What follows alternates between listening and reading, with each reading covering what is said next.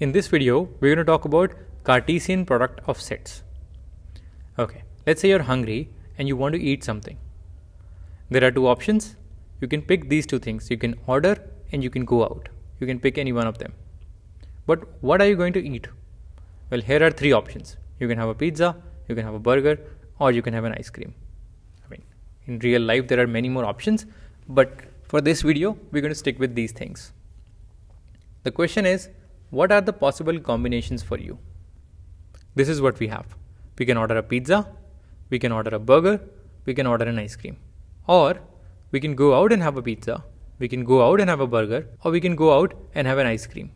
Now, each of them can be written as an ordered pair. The first element can tell us what we are doing, and the second one can tell us what we are eating. So, we have these six ordered pairs.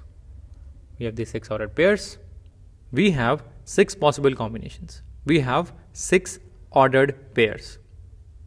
Now, when we put all six of them inside a set, so these six now become elements of a set. This set, this powerful set, is called the Cartesian product. We get one Cartesian product. So we started with two sets. The first set was things that we were doing, the second set was things that we are eating. And what happened here is we found the Cartesian product of these two sets. Now let's look at the definition. Given two non-empty sets P and Q, the Cartesian product P times Q, since it's a product, we use the multiplication sign. The Cartesian product P times Q is the set of all ordered pairs from P and Q. What we're saying is this.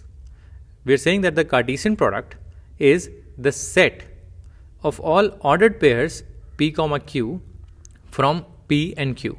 This means the first elements will be from P and the second elements will be from Q.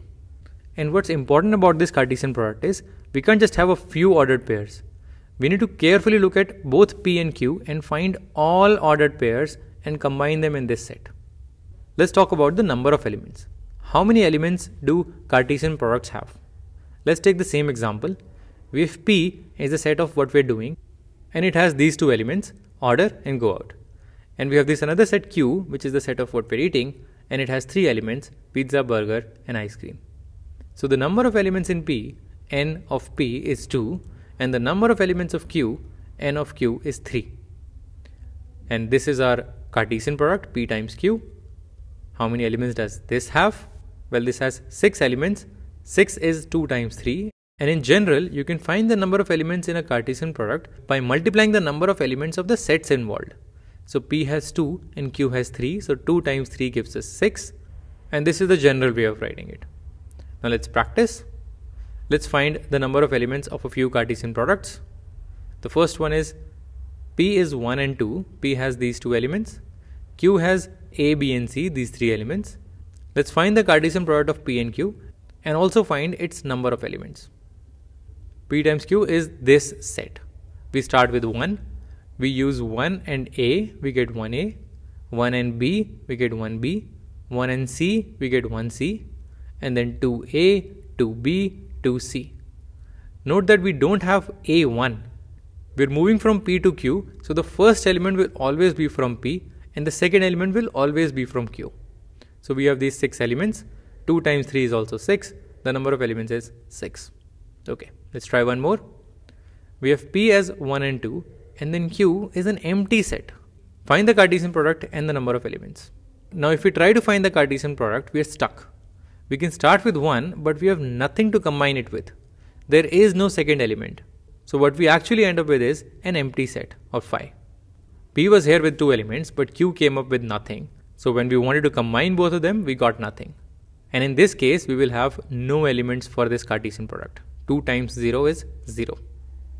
What about this third case? P has the same elements, and this time Q brought a very large list.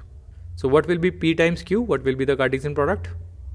Okay. So the Cartesian product will be 1, 1, 1, 2, 1, 3 and so on. This will never end. Also we'll have elements like 2, 1, 2, 2, 2, 3 and so on. Because Q has infinite elements, P times Q will also have infinite elements. So the number will be 2 times something infinite which gives us something infinite. So we have covered these three cases. In the first case, both P and Q had finite elements, so their Cartesian product was a finite set.